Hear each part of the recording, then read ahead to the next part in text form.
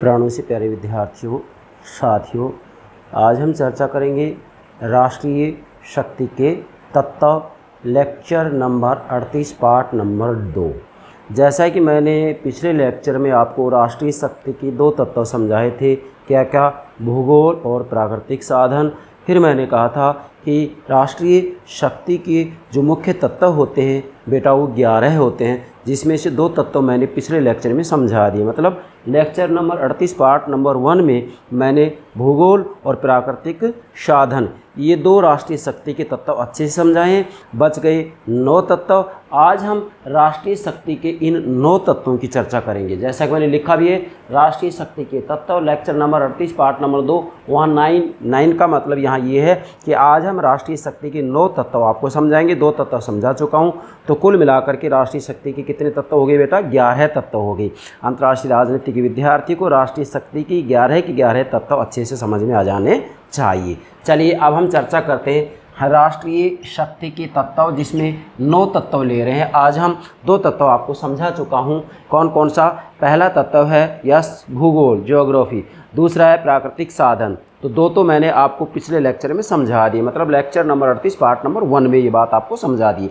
अब हम आज राष्ट्रीय शक्ति का ये तीसरा तत्व शुरू करें और तीसरे से लेकर के ग्यारह तक समझाएँगे। बेटा, राष्ट्रीय शक्ति का जो तीसरा तत्व है वो जनसंख्या है। यस, बेटा, किसी भी देश की राष्ट्रीय शक्ति का आपको अध्ययन करना हो कि वह राष्ट्र, राज्य शक्तिशाली है या नहीं तो इसके लिए आपको वहाँ की जो जनसंख्या है, इसका भी अध्ययन करना होगा।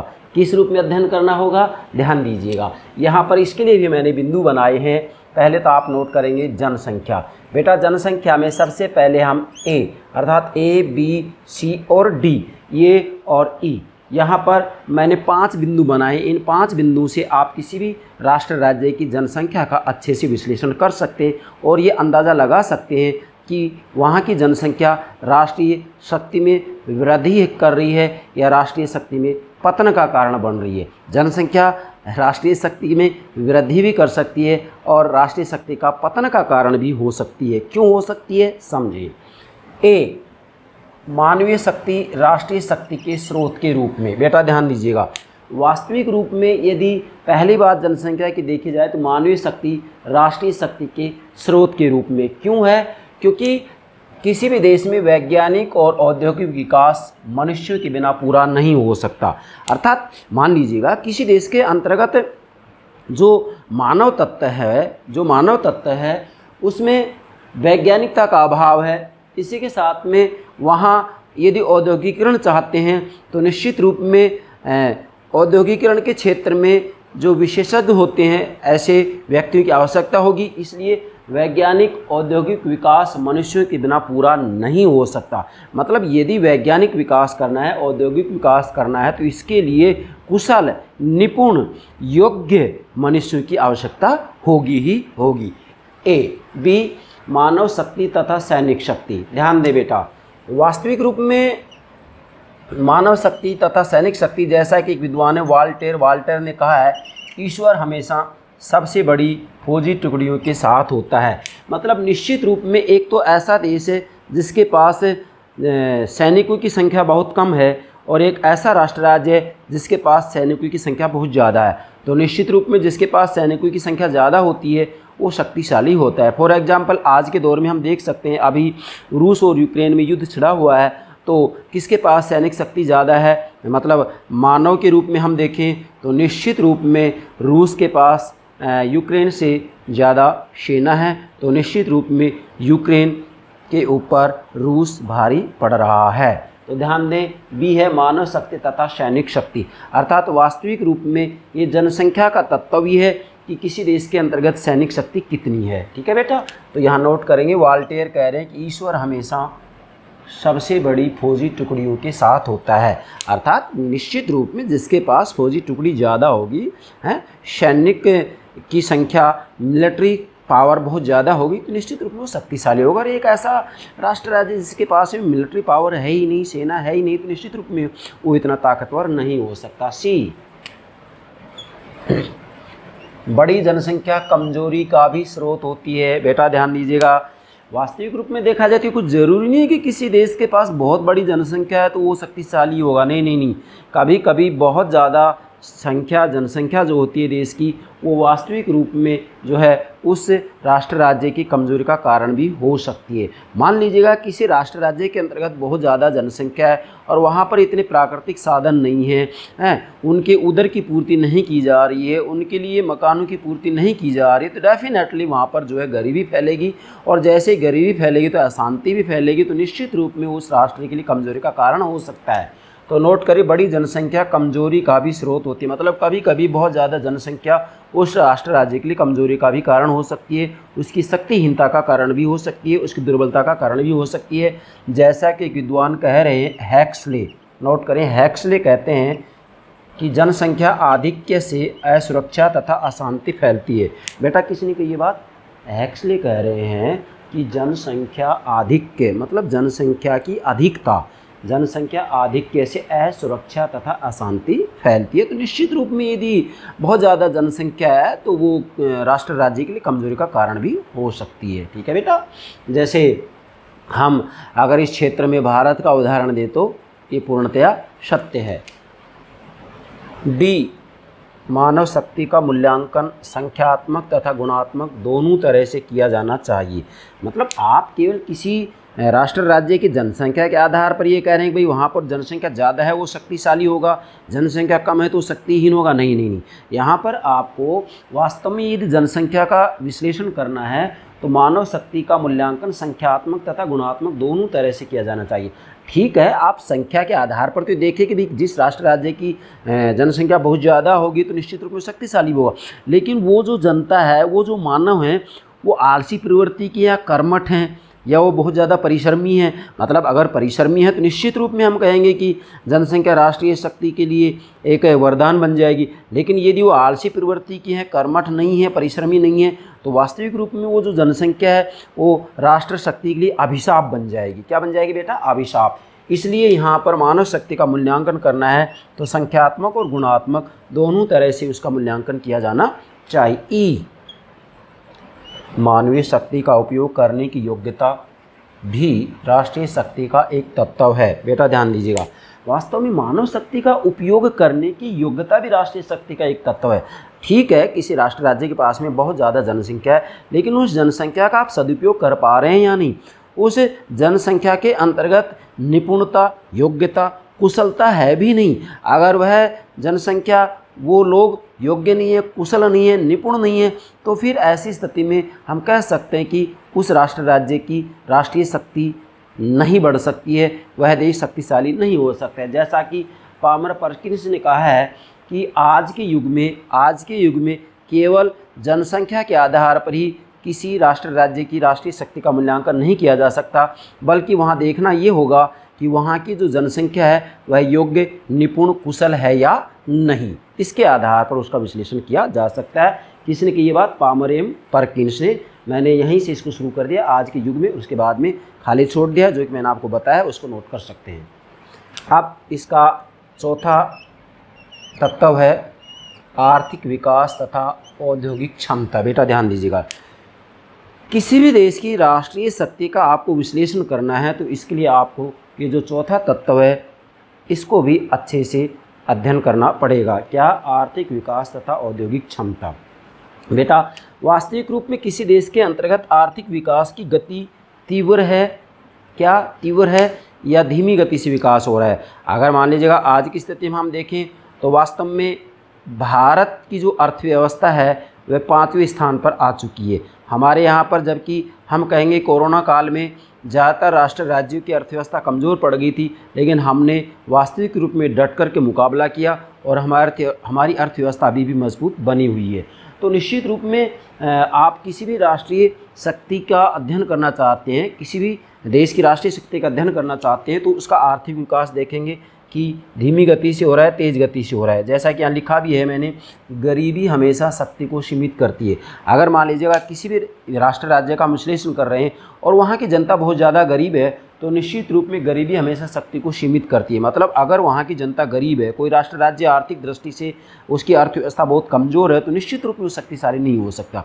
राजनीतिक शक्तिशाली बनने के लिए, राजनीतिक दृष्टि शक्तिशाली बनने के लिए वास्तव में आर्थिक दृष्टि से शक्तिशाली होना अति आवश्यक है। अगर आर्थिक दृष्टि से शक्तिशाली नहीं है तो राजनीतिक दृष्टि से शक्तिशाली होना बड़ा मुश्किल होता है। ए हो गया, बी है औद्योगिक क्षमता। बेटा, वास्तविक रूप में किसी भी देश की राष्ट्रीय शक्ति का आप अध्ययन करना चाहते हैं तो वहाँ ये भी देखेंगे कि वहाँ पर औद्योगिक क्षमता भी है या नहीं। किसी राष्ट्र राज्य के पास में बहुत ज़्यादा औद्योगिक क्षमता है तो निश्चित रूप में उसकी राष्ट्रीय शक्ति ज़्यादा होगी। किसी के पास में औद्योगिक क्षमता नहीं है तो वह इतना शक्तिशाली नहीं हो सकता। शी है औद्योगिक क्षमता तथा सैनिक शक्ति। किसी देश के पास में बहुत ज़्यादा औद्योगिक क्षमता है और इसी के साथ में उसके पास बहुत ज़्यादा सैनिक शक्ति है तो निश्चित रूप में शक्तिशाली होगा। मतलब मूल बात यहाँ ये है कि औद्योगिक क्षमता के ऊपर ही सैनिक शक्ति निर्भर करती है और सैनिक शक्ति के ऊपर उस राष्ट्र की, राष्ट्रीय शक्ति निर्भर करती है। तो आप आर्थिक विकास तथा औद्योगिक क्षमता का इन तीन बिंदुओं के आधार पर अध्ययन कर सकते हैं। पांचवा तत्व है बेटा, तकनीक टेक्निक तकनीक, आप किसी भी राष्ट्र, राज्य की राष्ट्रीय शक्ति का अध्ययन करना चाहते हैं, विश्लेषण करना चाहते हैं, मूल्यांकन करना चाहते हैं, उसे समझना चाहते हैं तो आपको ये भी देखना होगा क्या कि वहाँ पर तकनीक का क्या स्तर है? वहाँ की टेक्निक का क्या स्तर है? तो नोट करें, पाँचवा है तकनीक। अब तकनीक को समझाने के लिए भी हमने यहाँ चार बिंदु तैयार किए हैं। ए, तकनीक आर्थिक और औद्योगिक विकास की कुंजी के रूप में। क्या? नोट करें, तकनीक आर्थिक और औद्योगिक विकास की कुंजी के रूप में। अर्थात किसी भी देश के पास में जो टेक्निक है, वह बहुत ज़्यादा विकसित है तो निश्चित रूप में वहाँ पर आर्थिक विकास भी होगा और औद्योगिक विकास भी होगा। इसलिए आर्थिक और औद्योगिक विकास की कुंजी क्या है बेटा? तकनीक है। यस? बी परमाणु तकनीक तथा राष्ट्रीय शक्ति।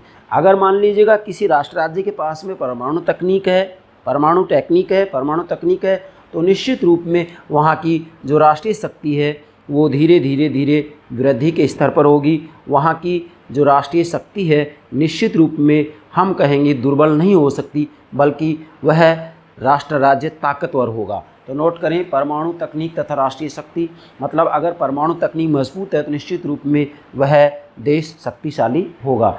सी है तकनीक स्विकास की कुंजी के रूप में। अर्थात वास्तविक रूप में किसी देश के पास यदि टेक्निक है तो टेक्निक उस देश के स्व विकास की कुंजी है। मतलब निश्चित रूप में उस देश का स्वतः ही विकास होगा, अपने आप ही विकास होगा, क्योंकि टेक्निक किसी भी देश के विकास की कुंजी है। इसलिए इसको कहा है तकनीक स्व विकास की कुंजी के रूप में। नोट करें, तकनीक स्व विकास की कुंजी के रूप में। ठीक है बेटा? कुंजी मीन्स एक प्रकार से हम कह सकते हैं चाबी। मतलब विकास रूपी ताले को खोलने की चाबी है ये। कौन? टेक्निक। मतलब टेक्निक एक प्रकार से हम कह सकते हैं क्या है? चाबी है, कुंजी है। और विकास विकास एक प्रकार से क्या हो गया? ताला हो गया, लोक हो गया। तो वास्तविक रूप में विकास रूपी ताले को खोलने की जो चाबी है, कुंजी है, वो तकनीक है, यस? डी है, तकनीकी सहायता राष्ट्रीय शक्ति के साधन के रूप में। यस बेटा? अब वास्तविक रूप में अगर राष्ट्रीय शक्ति के साधन की बात की जाए तो तकनीकी सहायता राष्ट्रीय शक्ति के साधन के रूप में भी होती है। क्यों होती है? क्योंकि वास्तविक रूप में किसी भी राष्ट्र राज्य के पास में यदि तकनीकी है अब तकनीकी है तो ऐसी स्थिति में दूसरे राष्ट्र राज्य की भी सहायता कर रहा है। दूसरे राष्ट्र राज्य की सहायता कर रहा है तो निश्चित रूप में उस राष्ट्र राज्य की जो राष्ट्रीय शक्ति है, उसमें वृद्धि होगी। इसलिए तकनीकी सहायता राष्ट्रीय शक्ति के साधन के रूप में भी है। तो इन चार बिंदुओं के आधार पर आप तकनीकी का अध्ययन कर सकते हैं। इसके बाद में छठा जो राष्ट्रीय शक्ति का तत्व है, वह है सैनिक तैयारी। यस बेटा, नोट करें। सैनिक तैयारी। सैनिक तैयारी को भी हम यहाँ पर जो है दो बिंदु के आधार पर स्पष्ट करेंगे। ए, सैनिक शक्ति राष्ट्रीय शक्ति का एक मौलिक भाग है। यस, सैनिक शक्ति राष्ट्रीय शक्ति का एक मौलिक भाग है। मतलब किसी भी देश की राष्ट्रीय शक्ति का आप मूल्यांकन करना चाहते हैं, विश्लेषण करना चाहते हैं, अध्ययन करना चाहते हैं तो निश्चित रूप से उसकी सैनिक शक्ति आपको देखनी होगी। अगर किसी देश के पास में बहुत ज़्यादा, बहुत अच्छी सक्षम, क्षमतावान, मिलिट्री पावर है तो निश्चित रूप में वहाँ की जो राष्ट्रीय शक्ति होगी, वो मज़बूत होगी। ठीक है बेटा? बी है सैनिक तैयारी के तीन तत्व। अर्थात वास्तविक रूप में जब सैनिक तैयारी की बात आती है कि भाई उस राष्ट्र राज्य में सैनिक तैयारी हो रही है या नहीं हो रही है तो सैनिक तैयारी के तीन तत्व होते हैं। नंबर एक, युद्ध तकनीक। नोट करें बेटा, युद्ध तकनीक, युद्ध तकनीक की उनके पास युद्ध करने की तकनीक कैसी है? युद्ध की तकनीक है या नहीं? युद्ध की तकनीक सक्षम है, मज़बूत है, सुदृढ़ है तो निश्चित रूप में शक्तिशाली होगा। दूसरा है सैनिक नेतृत्व, अर्थात तो वहाँ पर वास्तविक रूप में मिलिट्री का जो नेतृत्व किया जा रहा है, वह अच्छे से किया जा रहा है या नहीं किया जा रहा है? तो यहाँ पर आपको ये बात समझनी है कि हमेशा सैनिक शक्ति को राजनीतिक शक्ति के अधीन रहना चाहिए। अगर राजनीतिक शक्ति सैनिक शक्ति के अधीन होगी तो वह देश ज़्यादा विकसित नहीं हो सकता, उसका विकास नहीं हो सकता, वहाँ हमेशा मैं ये कहूँगा कि राजनीतिक अस्थिरता बनी रहेगी। पहला है, इसमें मतलब जो है सैनिक तैयारी के तीन तत्वों में पहला है, युद्ध तकनीक कैसी है, दूसरा है सैनिक नेतृत्व कैसा है, और तीसरा है सैनिकों की संख्या और योग्यता। अर्थात तीसरी बात यहाँ सैनिक तैयारी में ये देखनी है कि सैनिकों की संख्या कितनी है? भाई, एक तो सैनिक मान लीजिएगा, बिल्कुल संख्या में कम हो रही एक संख्या में बहुत ज़्यादा हो तो इसका ही प्रभाव पड़ता है संख्या का भी। लेकिन संख्या के साथ साथ उन सैनिकों में कितनी कुशलता, योग्यता मनोबल, सामर्थ्य है, ये बात भी मायने रखती है। इसके बाद में बेटा सातवां तत्व आता है राष्ट्रीय शक्ति का विचारधारा, आइडियोलॉजी।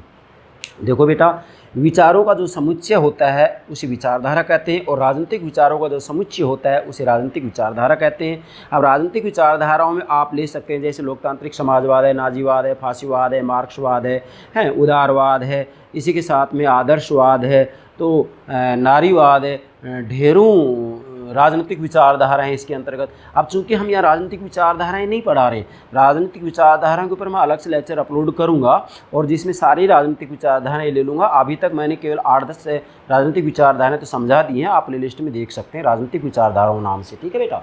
तो विचारधारा विचारधारा किसे कहते हैं? मतलब वास्तविक रूप में विचारों का जो समुच्चय होता है, उसे विचारधारा कहते हैं। तो किसी भी देश की आप राष्ट्रीय शक्ति का विश्लेषण करना चाहते हैं तो विचारधारा के आधार पर भी इसका विश्लेषण कर सकते हैं। फॉर एग्जांपल भारत की बात करते हैं तो भारत की जो विचारधारा है, आज लोकतांत्रिक समाजवाद है। भारत ने लोकतांत्रिक जो शब्दावली हो पश्चिमी देशों से ले ली है, जबकि समाजवाद की जो विचारधारा ली है, वो साम्यवादी देशों से लिए मतलब विशेषकर हम ये कहेंगे कि सोवियत संघ और चीन से लिए। और भारत ने इन दोनों का समन्वय कर दिया है। मतलब यहाँ एक प्रकार से कहेंगे, लोकतंत्र मतलब स्वतंत्रता, समाजवाद मतलब समानता, अर्थात भारत के अंतर्गत स्वतंत्रता और समानता में सामंजस्य बिठाया गया इसलिए भारत धीरे धीरे धीरे धीरे विकास करता जा रहा है। सोवियत संघ के विघटन होने का मूल कारण यही है कि उसने स्वतंत्रता और समानता में सामंजस्य नहीं बिठाया। क्यों? क्योंकि वो केवल समाजवाद के ऊपर बल दे रहा था, लेकिन लोकतंत्र के ऊपर बल नहीं दिया। वो केवल समानता पर बल दे रहा था, लेकिन स्वतंत्रता के ऊपर उन्होंने बिल्कुल भी बल नहीं दिया। वहाँ पर लोगों की स्वतंत्रता बिल्कुल समाप्त कर दी गई थी, लोगों का दम घुटने लगा। इसी ही कारण वास्तविक रूप में उन्नीस सौ इक्यानवे में फिर सोवियत संघ का विघटन ही हुआ।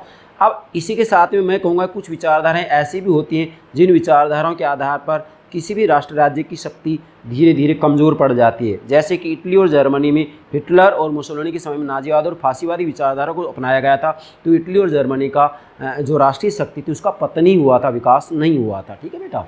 चलिए, अब इसके लिए मैंने यहाँ लिखा है, शक्ति के स्रोत के रूप में विचारधारा, अर्थात वास्तविक रूप में जो विचारधारा होती है वो भी किसी राष्ट्र राज्य की शक्ति के स्रोत के रूप में होती है। मतलब विचारधारा भी शक्ति का स्रोत होती है। जैसा कि मैंने यहाँ लिखा है, विचार तथा विचारधाराएँ एक राज्य की शक्ति के तत्व हैं। विचार तथा विचारधाराएँ एक राज्य की शक्ति के तत्व हैं। जैसे भारत में लोकतांत्रिक समाजवाद को अपनाया गया है, निश्चित रूप में ये हमारे लिए शक्ति का तत्व है। इटली और जर्मनी में नाजीवाद और फांसीवादी विचारधारा को अपनाया गया तो इसके पतन का कारण बना। इसी के बाद में, दूसरी विश्व युद्ध के बाद में पूरी दुनिया दो गुटों में बट गई थी। एक तरफ़ मतलब जो है पूंजीवादी विचारधारा, उसका नेतृत्व अमेरिका कर रहा था। दूसरी तरफ़ सामाजिक विचारधारा, इसका नेतृत्व सोवियत संघ कर रहा था। अब इन दोनों में वास्तविक रूप में तनातनी चल रही थी इस तनातनी के परिणाम स्वरूप ही शीत युद्ध का जन्म हुआ। मतलब जब विचारधाराओं में तनातनी हो जाती है, दो राष्ट्र राज्यों की विचारधाराएँ अलग अलग होती हैं तो ऐसी स्थिति में उनमें शीत युद्ध की स्थिति उत्पन्न हो जाती है। तो निश्चित रूप में विचारधारा के ऊपर भी ये निर्भर करता है कि वह राष्ट्र राज्य शक्तिशाली होगा या नहीं होगा। आठवां है बेटा नेतृत्व लीडरशिप नेतृत्व। निश्चित रूप में नेतृत्व का बहुत ज़्यादा योगदान होता है कि वह राष्ट्र राज्य शक्तिशाली होगा या नहीं। एक राष्ट्र राज्य तो ऐसा होता है जिसका नेतृत्व ढीला ढाला हो शिथिल हो एक राष्ट्र राज्य ऐसा होता है जिसका नेतृत्व बहुत सुदृढ़ और मज़बूत हो। जैसा कि उदाहरण के रूप में आज हम भारत की बात करते हैं तो हमारे देश के प्रधानमंत्री श्री नरेंद्र मोदी जी का नेतृत्व वास्तविक रूप में काबिल तारीफ़ है। मतलब सुदृढ़ है, मज़बूत नेतृत्व है और जब सुदृढ़, मज़बूत नेतृत्व होता है तो ऐसी स्थिति में राष्ट्रीय शक्ति के सारे तत्व अच्छे से काम करना शुरू कर देते हैं। निश्चितता है, नेतृत्व के ऊपर बहुत कुछ निर्भर करता है। अगर मज़बूत नेतृत्व है तो निश्चित रूप में वह राष्ट्र राज्य काफ़ी आगे बढ़ सकता है और नेतृत्व शिथिल है, कमज़ोर है तो वह राष्ट्र राज्य आगे नहीं बढ़ सकता। कारण, क्योंकि वास्तविक रूप में नेतृत्व के ऊपर ही निर्भर करता है कि यहाँ विदेश नीति किस रूप में तय की जा रही है, आंतरिक रूप में कैसे निर्णय लिए जा रहे हैं, आंतरिक रूप में बोल्ड डिसीज़न लिए जा रहे हैं या नहीं, बाहरी रूप में अच्छी विदेश नीति तय की जा रही है या नहीं, ये सब नेतृत्व के ऊपर निर्भर करता है। तो नेतृत्व को भी यहाँ पर हम दो बिंदु के आधार पर समझेंगे। ए है राष्ट्रीय शक्ति के मान्य तत्व के रूप में नेतृत्व, अर्थात वास्तविक रूप में राष्ट्रीय शक्ति के मान्य तत्व के रूप में नेतृत्व,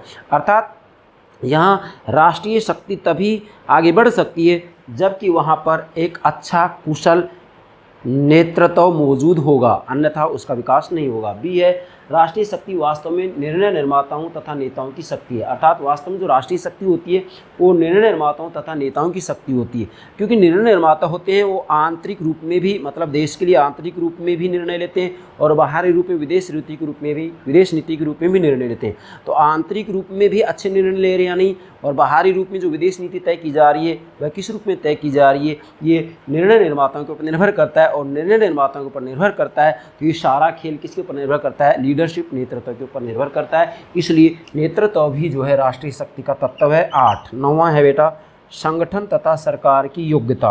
वास्तविक रूप में देखा जाए तो राष्ट्रीय शक्ति का जो नौवा तत्व है, संगठन तथा सरकार की योग्यता तो इसमें यहाँ मूल बात देखने की ये है कि जो सरकार है, सरकार का प्रभावशाली संगठन है या नहीं सरकार के द्वारा जो भी निर्णय लिया जा रहा है, उसका आंतरिक रूप में दबदबा है या नहीं, और बाहरी रूप में दूसरे राष्ट्र राज्य उसको कितना सम्मान दे रहे, दूसरे राष्ट्र राज्य के ऊपर उसका कितना प्रभाव है। अब कितना प्रभाव है तो ये बात नेतृत्व के ऊपर भी निर्भर करती है। अगर लीडरशिप मज़बूत है तो उसका प्रभाव निश्चित रूप में होगा ही होगा। जैसा कि मैंने नोट किया है, राष्ट्रीय शक्ति के तत्व के रूप में सरकार का प्रभावशाली संगठन, अर्थात सरकार वास्तविक रूप में प्रभावशाली है तो निश्चित रूप में वह शक्तिशाली होगा राष्ट्र राज्य, और अगर सरकार प्रभावशाली नहीं है तो वह इतना शक्तिशाली नहीं होगा। उदाहरण के रूप में आज की हम बात करते हैं तो आज हमारे देश में जो सरकार है, श्री नरेंद्र मोदी जी के नेतृत्व में जो सरकार संचालित की जा रही है तो निश्चित रूप में कहा जा सकता है कि संगठन तथा सरकार की जो योग्यता है, वो मज़बूत है और मज़बूत होने के कारण ये कहा जा सकता है कि पूरी दुनिया में हमने ये दिखा दिया है कि भारत भी कोई राष्ट्र राज्य है। आज सभी राष्ट्र राज्य भारत की विदेश नीति से प्रभावित हैं, ये बात पूर्णतया सत्य है। यहाँ पर किसी पार्टी विशेष के पक्ष विपक्ष में ना जाते हुए हम तो निष्पक्ष रूप में इसका विश्लेषण कर रहे हैं। और राजनीति विज्ञान का चाहे विद्यार्थी हो राजनीति विज्ञान का चाहे शिक्षक हो चाहे राजनीति वैज्ञानिक हो इन तीनों को निष्पक्ष रूप में राजनीति के बारे में जैसा होता है वैसा ही बोलना चाहिए अपनी तरफ़ से। या मैं कहूँगा पूर्वाग्रहों से ग्रसित होकर के कुछ भी नहीं कहना चाहिए, क्योंकि हम तो इनका निष्पक्ष रूप में विश्लेषण करते हैं। नेक्स्ट है बेटा, दसवां तत्व है राष्ट्रीय चरित्र तथा मनोबल। राष्ट्रीय शक्ति का जो ये तत्व है, राष्ट्रीय चरित्र तथा मनोबल, ये भी बहुत महत्वपूर्ण है। किसी देश का राष्ट्रीय चरित्र कैसा है? जैसे हम भारत की बात करते हैं तो भारत का राष्ट्रीय चरित्र कैसा है? हमारे यहाँ पर सहनशीलता बहुत ज़्यादा है। इसलिए आप देखेंगे, हमारी विदेश नीति भी आक्रामक नहीं है, बल्कि हमारी विदेश नीति का सिद्धांत है, जियो और जीने दो। मतलब शांति से जियो भी और शांति से जीने दो। ये हमारा सिद्धांत है। हमारे अंदर सहनशीलता ज़्यादा है। हम इतने सहनशील हैं। हमारे तो यहाँ विशेषकर ये माना जाता है कि जब तक हमें बहुत ज़्यादा परेशान ना कर दिया जाए, तब तक हम वास्तविक रूप में किसी के ऊपर आक्रमण करते भी नहीं हैं। तो निश्चित रूप में हमारा जो राष्ट्रीय चरित्र है वो सहनशील है। अगर ब्रिटेन की बात आती है तो ब्रिटेन का राष्ट्रीय चरित्र की बात आती है तो वास्तविक रूप में कानूनों का, परंपराओं का ईमानदारी से पालन करते हैं। अगर संयुक्त राज्य अमेरिका की बात आती है तो बड़े उद्यमशील होते हैं, जापान की बात आती है तो बड़े परिश्रमी होते हैं, स्विट्जरलैंड की बात आती है तो बड़े शांत स्वभाव के होते हैं तो प्रत्येक देश का अपना राष्ट्रीय चरित्र होता है। तो राष्ट्रीय चरित्र के ऊपर निर्भर करता है कि वहाँ का जो देश है, राष्ट्र है वह शक्तिशाली होगा या नहीं। इसी के साथ में मनोबल मनोबल की बात आती है तो ये है कि किसी राष्ट्र राज्य की जो जनसंख्या है, उसमें मनोबल कैसा है? जैसा कि कहा जाता है कि मन के हारे हार है मन के जीते जीत है। अगर किसी देश की सेना का मनोबल धराशायी हो गया तो निश्चित रूप में जीत नहीं सकते। और कम सेना होते हुए भी उनका मनोबल बहुत ज़्यादा है तो निश्चित रूप में वो बहुत बड़ी सेना के ऊपर भी, संख्या की दृष्टि से बहुत बड़ी सेना है, उसको भी जो है वो पराजित कर सकते हैं। तो मनोबल का भी बहुत ज़्यादा योगदान होता है कि किसी देश के अंतर्गत मनोबल है या नहीं है। मनोबल का बड़ा योगदान होता है। और इसके बाद में ग्यारहवा अंतिम है बेटा कूटनीति डिप्लोमेसी राजनय वास्तविक रूप में राष्ट्रीय शक्ति का जो ग्यारह तत्व है, कूटनीति, ये बहुत महत्वपूर्ण है। कूटनीति बहुत महत्वपूर्ण है। कूटनीति के ऊपर हम ये कह सकते हैं कि ये सारे तत्व निर्भर करते हैं। अगर किसी देश की कूटनीति राजनय डिप्लोमेसी अच्छी होगी तो इन सभी तत्वों का भी अच्छे से प्रयोग किया जा सकता है। हालाँकि इसका मतलब ये नहीं है कि कूटनीति या राजनय ही राष्ट्रीय शक्ति का एक निर्धारक तत्व है। नहीं, ऐसा नहीं है। हाँ ये कूटनीति जो है राष्ट्रीय शक्ति का एक महत्वपूर्ण तत्व है, इतना ज़रूर कहा जा सकता है। जैसा कि हांस मार्गिन थाउ ने कहा है कि कूटनीति राष्ट्रीय शक्ति का मस्तिष्क है। क्या? कूटनीति राष्ट्रीय शक्ति का मस्तिष्क है, जो राष्ट्र के सारे शक्ति स्रोतों को इस प्रकार प्रभावित करती है कि उनमें अधिकांश का प्रयोग हो सके। मतलब वास्तविक रूप में यहाँ पर मार्गिन था ये कहते हैं कि कूटनीति राष्ट्रीय शक्ति का मस्तिष्क है और इस आधार पर अन्य सभी तत्वों का प्रयोग किया जा सकता है। हालाँकि यहाँ हार्जे मार्गिन था जो बात कही वो हम कह सकते हैं कि इसमें अतिशयोक्ति ज़्यादा है। मतलब इतना भी नहीं है कि कूटनीति एक निर्धारक तत्व है, लेकिन इतना ज़रूर है कि कूटनीति एक महत्वपूर्ण तत्व ज़रूर है। तो नोट करेंगे। इसके बाद में बेटा जब ये ग्यारह तत्व आपकी समझ में आ जाते हैं तो मैं यहाँ पर एक बात और कहूँगा, एक विद्वान है कोलम्बिस तथा वूल्फ। नोट करेंगे कोलम्बिस तथा वूल्फ। कोलम्बिस तथा वूल्फ ने राष्ट्रीय शक्ति के तीन तत्व और बतलाए हैं। राष्ट्रीय शक्ति के तीन तत्व और बतलाए। किसने? कोलम्बिस तथा वूल्फ। नोट कर सकते हैं कोलम्बिस तथा वूल्फ। नोट करें कोलम्बिस तथा वूल्फ। पहला है प्रतिष्ठा। प्रतिष्ठा। किसी राष्ट्र, राज्य का जो स्टेटस है, प्रतिष्ठा है, वो कितना है? इसके ऊपर भी निर्भर करता है कि वह राष्ट्र, राज्य शक्तिशाली है या नहीं। दूसरा है वास्तव इसको पीछे करो थोड़ा। दूसरा है जो विदेशी समर्थन तथा निर्भरता। विदेशी समर्थन तथा निर्भरता, नोट कीजिएगा। विदेशी समर्थन तथा निर्भरता। अर्थात वास्तविक रूप में यहाँ पर एक राष्ट्र राज्य दूसरे राष्ट्र, राज्य की कितनी सहायता कर रहा है एक राष्ट्र राज्य दूसरे राष्ट्र राज्य के ऊपर कितना निर्भर करता है, इसके ऊपर भी उसकी जो है राष्ट्रीय शक्ति निर्भर करेगी। पहला क्या होगा? प्रतिष्ठा। दूसरा क्या होगा? राष्ट्रीय सहयोग निर्भरता। बेटा नोट करें। कोलंबिस तथा उल्फ ने तीन शक्ति के तत्व और बतलाए प्रथम है प्रतिष्ठा। दूसरा है राष्ट्रीय यश राष्ट्रीय सहयोग तथा निर्भरता। ठीक है बेटा? और तीसरा है दुर्घटनाएँ। अर्थात किसी राष्ट्र, राज्य या किसी देश के अंतर्गत अकस्मात कोई प्राकृतिक आपदा आ जाती है, भूकंप आ जाता है, बाढ़ आ जाती है तो निश्चित रूप में इसके ऊपर भी निर्भर करता है कि उस देश की राष्ट्रीय शक्ति जो है बढ़ेगी या घटेगी। अगर किसी देश में प्राकृतिक आपदा आ जाती है, भूकंप, बाढ़ जैसी समस्याएँ आ जाती हैं तो निश्चित रूप उसकी राष्ट्रीय शक्ति कमज़ोर पड़ेगी। और किसी देश के अंतर्गत, मान लीजिएगा, हम भारत की बात करते हैं, कि समय पर अच्छा मानसून आ जाता है तो अच्छी खेती हो जाती है।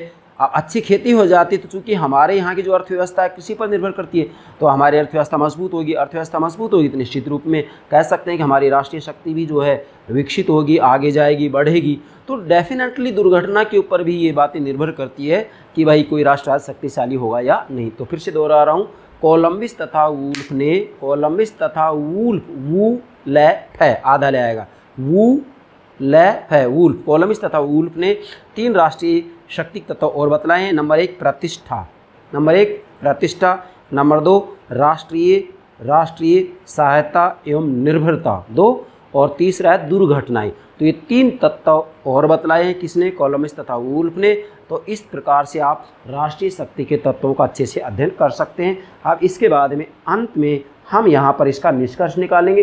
जो ये जो ग्यारह तत्व मैंने आपको समझाए एक तो ये और कॉलमिस तथा वूल्फ के जो तीन तत्व मैंने आपको बताए उन सब का निष्कर्ष निकालेंगे। क्या निष्कर्ष निकालेंगे?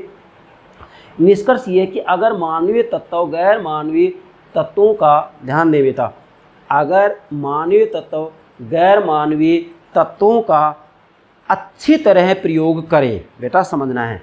अगर मानवीय तत्व गैर मानवीय तत्वों का अच्छी तरह प्रयोग करें तो अच्छी राष्ट्रीय शक्ति उत्पन्न हो सकती है। मतलब वास्तविक रूप में यदि मानवीय तत्व गैर मानवीय तत्वों का अच्छी तरह प्रयोग करें तो अच्छी राष्ट्रीय शक्ति उत्पन्न हो सकती है। यहाँ समझने की बात यह है कि मानवीय तत्वों के द्वारा गैर मानवीय तत्वों का अच्छी तरह से, उचित प्रकार से, श्रेष्ठता से, कुशलता से उपयोग, प्रयोग किया जाता है तो निश्चित रूप में राष्ट्रीय शक्ति आगे बढ़ सकती है, एक अच्छी राष्ट्रीय शक्ति उत्पन्न हो सकती है। उस राष्ट्र राज्य की जो राष्ट्रीय शक्ति है वो बहुत आगे बढ़ सकती है। वह राष्ट्र राज्य शक्तिशाली हो सकता है। कब? बशर्ते कि मानवीय तत्वों के द्वारा गैर मानवीय तत्वों का कुशलता के साथ प्रयोग किया जाए। इस निष्कर्ष में हमने ये बात नोट की है तो आप नोट कर सकते हैं। फिर दोहरा रहा हूँ, निष्कर्ष। अगर मानवीय तत्व गैर मानवीय तत्वों का अच्छी तरह प्रयोग करें तो अच्छी राष्ट्रीय शक्ति उत्पन्न हो सकती है। यह सभी राष्ट्र राज्यों के ऊपर निर्भर करता है। संयुक्त राष्ट्र संघ के सदस्यों की जो संख्या है, वो एक सौ तिरानवे राष्ट्र राज्य हैं। तो एक सौ तिरानवे के एक सौ तिरानवे राष्ट्र राज्य के ऊपर ये निष्कर्ष लागू होगा और एक सौ तिरानवे के एक सौ तिरानवे राष्ट्र राज्यों के ऊपर जो ये राष्ट्रीय शक्ति के ग्यारह तत्व मैंने समझाए ये भी लागू होंगे। और कॉलमिस तथा वुल्फ ने जो तीन राष्ट्रीय शक्ति के तत्व बतलाएँ। ये भी एक सौ तिरानवे राष्ट्र राज्यों पर लागू हो गए। किसी भी राष्ट्र राज्य की राष्ट्रीय शक्ति का आप अध्ययन करना चाहते हैं, विश्लेषण करना चाहते हैं, मूल्यांकन करना चाहते हैं, उसे अच्छे समझना चाहते हैं तो आपको इन सभी राष्ट्रीय शक्ति के तत्वों का विश्लेषण करें और उसके आधार पर आप निष्कर्ष निकाल सकते हैं कि वह राष्ट्र राज्य शक्तिशाली है या नहीं है। ये हो गया आपके राष्ट्रीय शक्ति के नौ तत्व। दो तत्व पिछले लेक्चर में समझा दिए टोटल ग्यारह तत्व हो गए और तीन तत्व कॉलमिस तथा उल्प के हो गए। प्रतिष्ठा, राष्ट्रीय सहयोग तथा निर्भरता और दुर्घटनाएँ, तीन हो गए बेटा ये।